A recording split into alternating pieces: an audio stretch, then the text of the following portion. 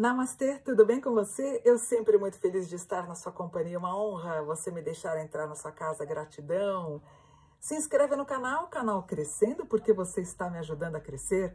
Deixe seu comentário, deixe seu like, é importante para a gente ter engajamento. Minha bateria está quase acabando, mas eu consigo gravar o mapa do maravilhoso Luiz Roberto Barroso, jurista, professor e magistrado, brasileiro, escritor e ministro e presidente do Supremo Tribunal Federal. Sua religião é o judaísmo. Nasceu em Vassouras no dia 11 de março de 58, foi casado com a dona Teresa, que faleceu em janeiro do ano passado. Tem dois filhos, a Luna e o Bernardo. O anjo dele é o 65, o salmo de proteção é o 89. Na numerologia do ano que ele nasceu, é, ele tem o número 19, que é a própria carta do sol, ele nasceu para brilhar, tá? Na Revolução de 24, ele está com a numerologia número 12, ano que vem o número 13, que fala de uma limpeza, né? Ele está namorando, né? Sabe que ele está namorando, ele está feliz da vida aí, conheceu uma, se eu não me engano, poxa, eu não sei, mas é, é uma pessoa ligada à área dele, então ele está feliz, isso é o que importa. Como não sabemos o horário de nascimento do, do Luiz, eu coloquei às 12 horas. Então, aqui eu tenho, ó, mapa natal dele, né? Essas informações eu tirei do Google. E, então, no dia que ele nasceu, é, no dia que ele sai do útero da mãe, eu tenho o mapa natal. E esse daqui é a revolução de 2024, que vai acontecer no ano. Então, o Luiz é um psiano, grau 20, um homem protegido por Deus e pelos anjos. A lua em Sagitário, tem, né, é aquela coisa, ele é o homem contido e não é, quando ele tem que dar o troco, ele dá também. O Mercúrio em Peixes, ele tem uma voz muito agradável, um homem de muito saber. A Vênus em Aquário, ele tem uma mentalidade muito aberta, né? Embora judeu, a gente imagina ele tradicional, ele não é, ele é muito aberto em todas as religiões, praticamente espiritualizado, espiritualista. Marte em Capricórnio, acordou, vai trabalhar, voltou para casa, trabalha e vai dormir muito trabalhador. Júpiter em escorpião, muito econômico. Saturno em Sagitário, o plano dele aqui é aposentar e viajar. Urano em Leão, ele se acha bonitão, eu acho que ele é também. Né? Urano em Leão, cabelo vaidoso, deve ser cheiroso. Leão gosta muito de perfume, Urano em Leão é tch, tch, tch, perfume. Netuno em Escorpião com Aquário, tomaria cuidado com o cólon, com o intestino. Casa 6 em escorpião, ó, ele tem dois escorpião, inclusive um grau zero, tomaria cuidado com o cólon, câncer de intestino, tá? Esposa, acho que ela morreu de câncer, ó, tem aqui um, é triste pela perda da esposa, né?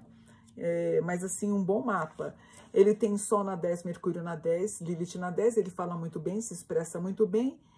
Eu acho que ele queria ser médico, talvez ele tenha ficado na dúvida entre medicina e direito, mas é um talentosíssimo, seria um bom médico também. Vênus na 8, Marte na 8, o, a magistratura pega ele aqui, ele vai em frente, mas ele é um brincalhão, Nodo na casa 5, Júpiter na 5. Ele deve tocar algum instrumento, ele é um piadista, ele é engraçado, Luiz, ele não é sisudo, não. Gente boa. Ele, é, enfim, ele aposenta e ele vem para o interior, ou ele vai querer uma casa mais tranquila, ele casa de novo, tá? Se tiver depressão, tomando medicação, e eu fico tranquila também. Ele se precavendo financeiramente, guardando dinheiro, algumas pressões psicológicas, natural, muito natural, pelo trabalho que ele carrega, e aquele feliz da vida com grande amor aqui casando de novo. Talvez ele ache em 2024 que ele possa infartar, não é infarto, mas é talvez alguma síndrome do pânico, querendo comprar um patrimônio fora de Brasília. Ah, não, ele, se eu não me engano, ele tem uma casa em Itu, tá dando grau de interior. Ele vindo aqui pertinho da minha região, porque eu moro aqui perto de Sorocaba, parece que ele tem uma casinha em Itu, é verdade, eu lembrei. Talvez ele queira particularmente esse ano, ano que vem, ir para Japão, China, Índia, Tailândia, Vietnã, Laos, casar lá com a nova esposinha dele. 12 anos bons e de prosperidade, preocupado com saúde, fazendo exames, até porque ele viu a esposa com problemas, talvez a esposa fosse resistente a procurar por saúde, né?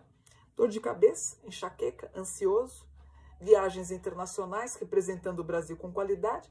Se eu não me engano, acho que ele estava em Davos, acho que eu vi ele lá. Eu acho que eu vi, não, vi na TV, né?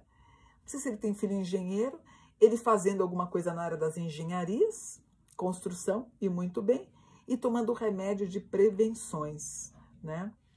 E é, muito cauteloso, muito dinâmico na sua comunicação.